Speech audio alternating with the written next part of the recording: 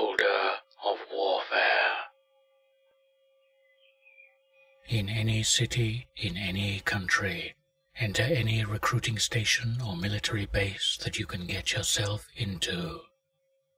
Ask the officer at the front desk to speak to the holder of warfare. If he responds, I'm sorry, but he is KIA, then do not despair.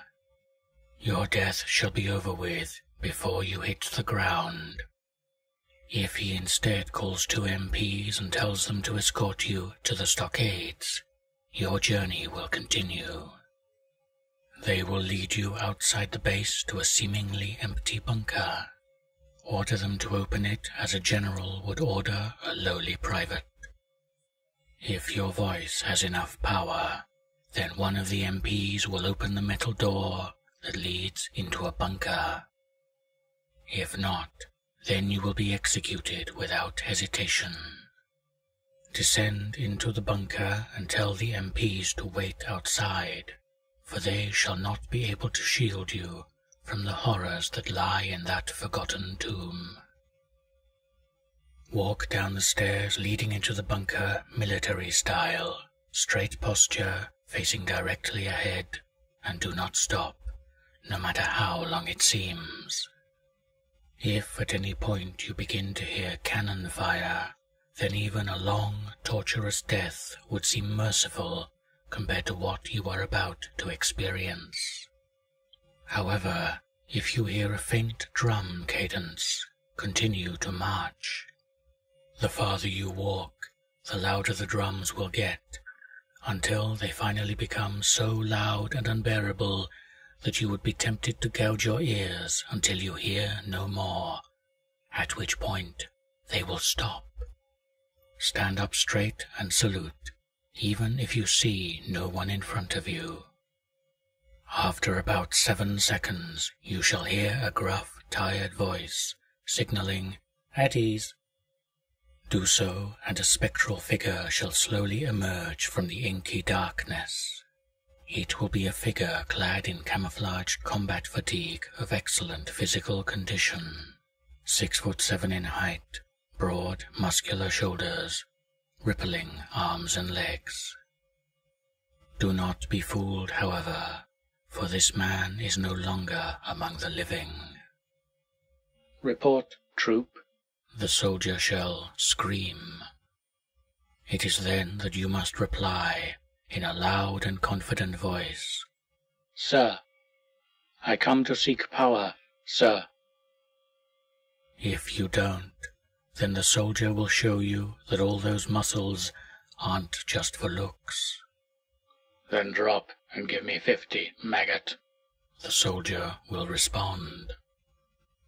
I suggest you oblige him and begin your push-ups. Count off each one. If he places his boot on your back, continue to push, no matter how hard it becomes. If he doesn't, then you have displeased him and will be disposed of. If you manage to complete your workout, the soldier will ask you to stand. You must shout, Thank you, Sergeant. The soldier will then nod and present you with a combat helmet, a frag grenade, and a 1911.45 caliber semi-automatic handgun with an extra magazine. Take them, for you shall have dire need of these blessings soon. After a few moments of catching your breath, you will be blinded by a light brighter than any star could produce, and shocked by the loudest of explosions.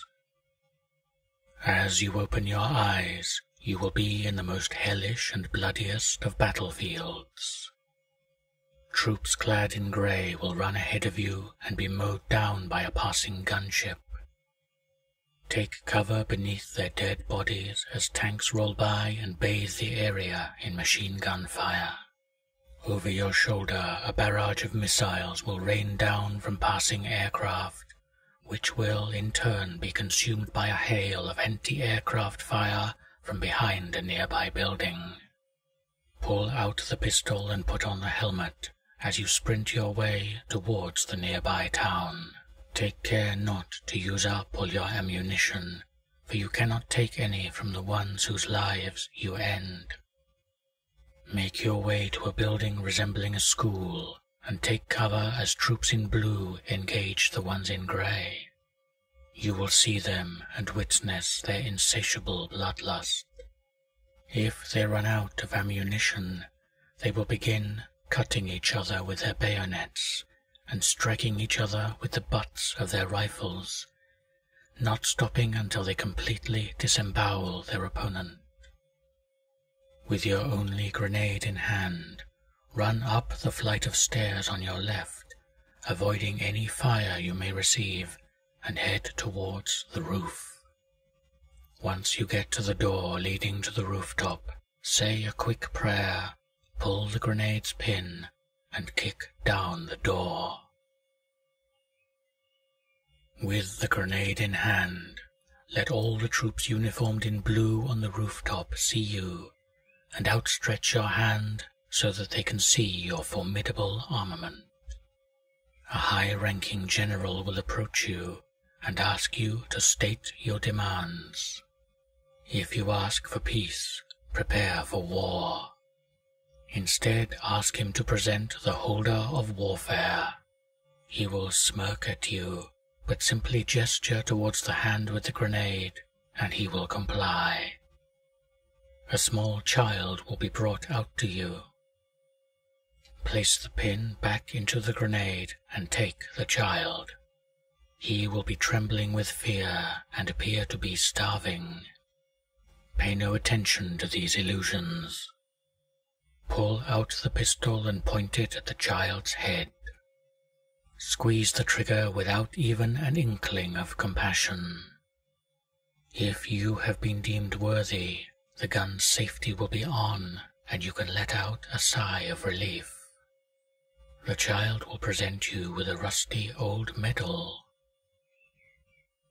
that medal is Object 219 or 538, and with it untold violence will follow. Do you have the heart to resist?